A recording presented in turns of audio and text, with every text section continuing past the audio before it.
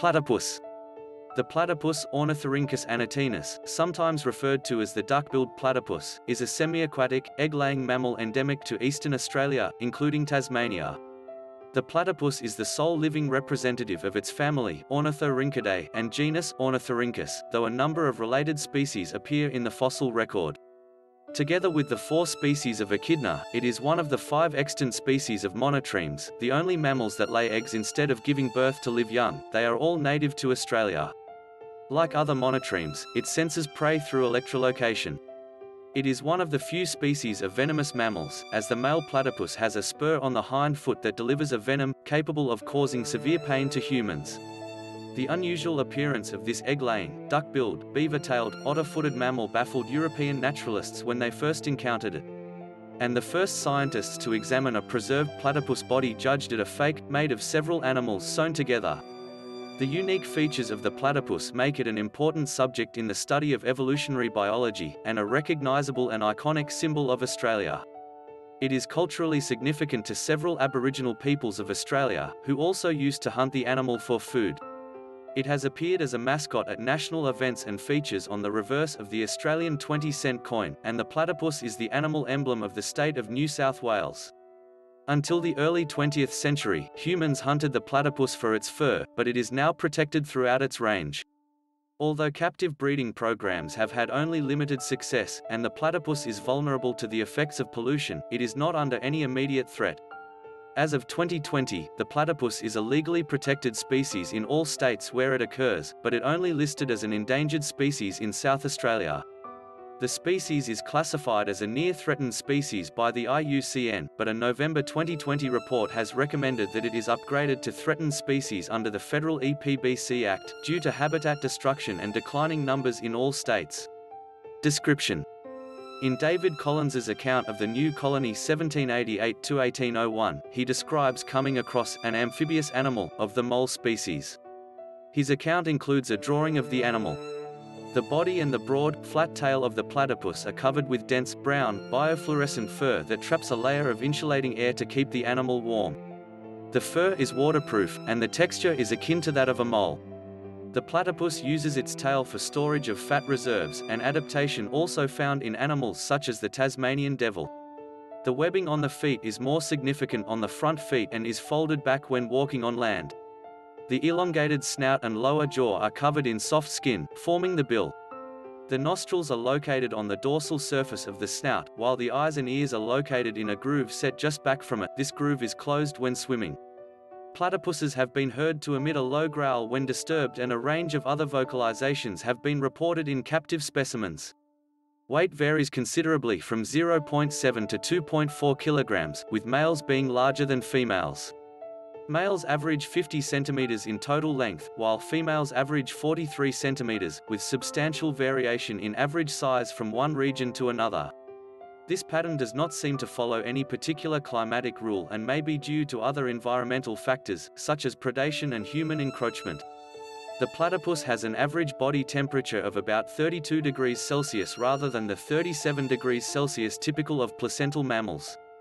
Research suggests this has been a gradual adaptation to harsh environmental conditions on the part of the small number of surviving monotreme species rather than a historical characteristic of monotremes.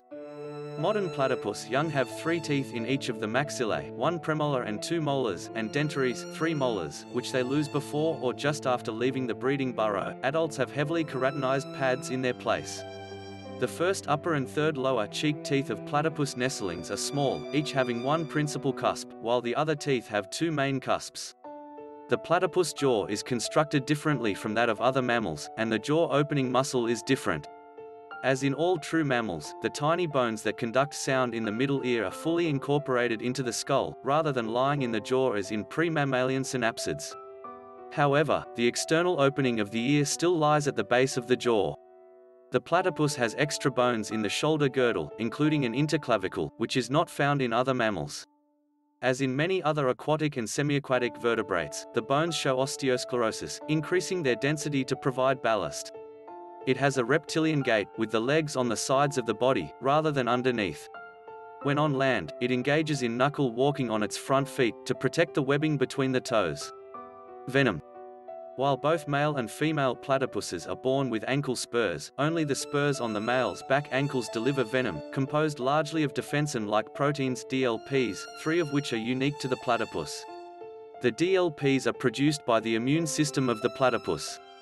The function of defensins is to cause lysis in pathogenic bacteria and viruses, but in platypuses they also are formed into venom for defense. Although powerful enough to kill smaller animals such as dogs, the venom is not lethal to humans, but the pain is so excruciating that the victim may be incapacitated.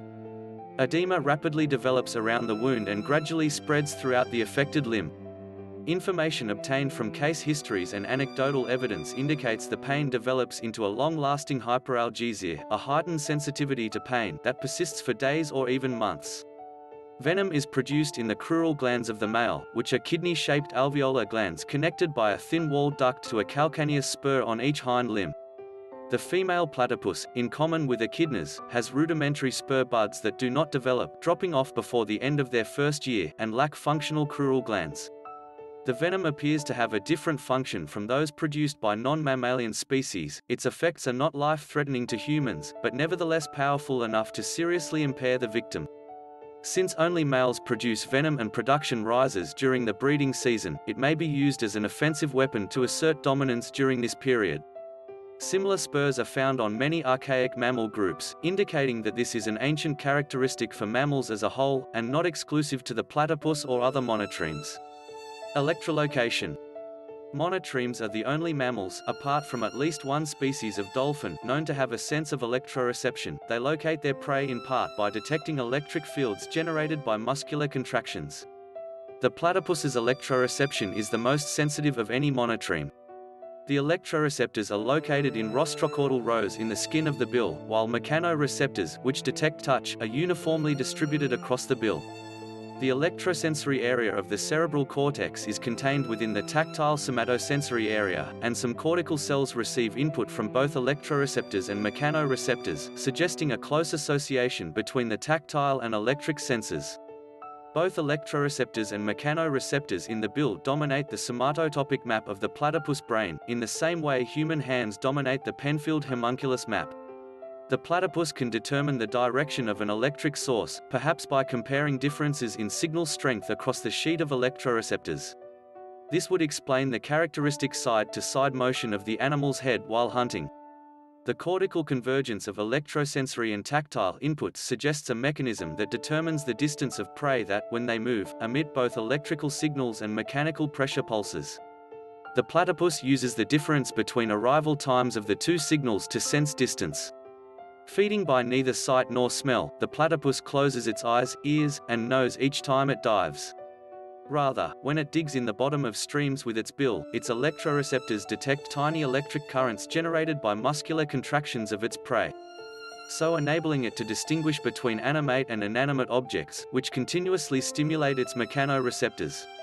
Experiments have shown the platypus will even react to an artificial shrimp if a small electric current is passed through it. Monotreme electrolocation probably evolved in order to allow the animals to forage in murky waters, and may be tied to their tooth loss. The extinct Obdurodon was electroreceptive, but unlike the modern platypus it foraged pelagically, near the ocean surface. Eyes.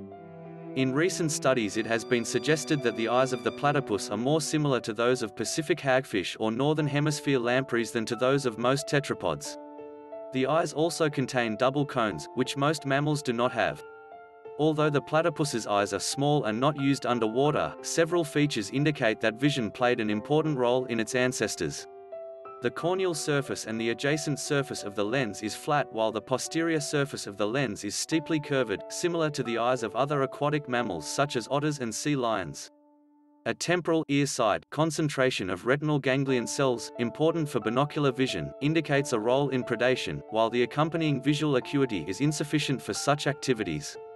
Furthermore, this limited acuity is matched by a low cortical magnification, a small lateral geniculate nucleus and a large optic tectum, suggesting that the visual midbrain plays a more important role than the visual cortex, as in some rodents.